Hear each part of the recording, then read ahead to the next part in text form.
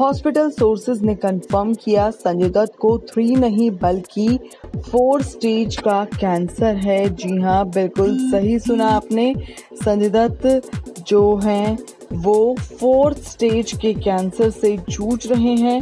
बता दें कि बीते दिनों संजय दत्त को सांस लेने में तकलीफ़ की वजह से हॉस्पिटल में एडमिट कराया गया था। उन्हें कोरोना टेस्ट के लिए लीलावती अस्पताल ले जाया गया था। उनकी रिपोर्ट नेगेटिव आई, लेकिन दूसरे ही दिन उनको कैंसर होने की खबर ने सबको चिंता में डाल दिया।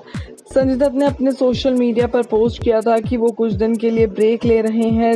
रिपोर्ट्स थी कि उनको स्टेज थ्री का कैंसर है, लेकिन हॉस्पिटल सोर्स से खबर आ रही है कि संजय दत्त का लंग कैंसर चौथी स्टेज पर पहुँच चुका है। यानी कि मामला बहुत ज़्यादा सीरियस है। एक रिपोर्ट के मुताबिक सोर्स ने ये बात भी कंफर्म की है कि संजय दत्त का ऑक्सीजन लेवल बहुत कम हुआ था।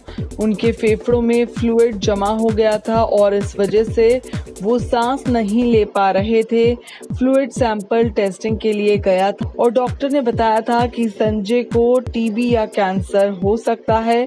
संजय दत्त की पत्नी मान्यता ने भी उनके कैंसर की खबर को कंफर्म किया था। और बोला था कि संजू फाइटर है, वो जल्द ठीक होकर लौटेंगे और इस बीच किसी तरह की अफवाह पर ध्यान ना दे बहरहाल, हम यही दुआ करते हैं कि संजू बाबा जल्द से जल्द ठीक हो जाएँ। इस वीडियो में इतना ही